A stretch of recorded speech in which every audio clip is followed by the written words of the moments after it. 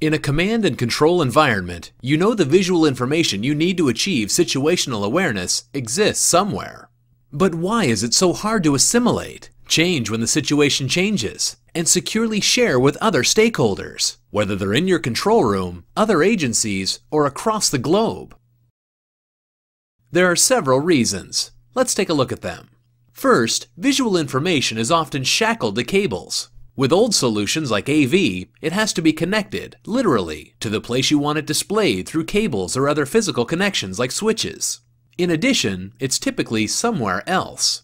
Situational awareness requires lots of sources, camera feeds, diagrams, web pages, etc. And these are not running on a local machine in the control room, let alone on a central display. Finally, the visual information you need is sensitive, sometimes running on separate secure networks that don't talk to each other, or that you don't control. So by design, you can't assimilate the information, nor can you share it.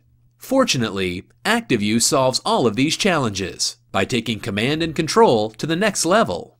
Every source of visual information you need, from IP cameras to web pages to operator desktops, is brought together to build situational awareness. If it's on the network, Activu lets you assimilate it anywhere, be it a central display, an operator's desktop, or a mobile device all done safely and securely, with full access management and high-level encryption.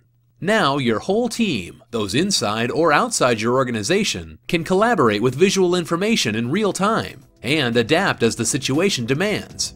The bottom line, you'll achieve optimal situational awareness.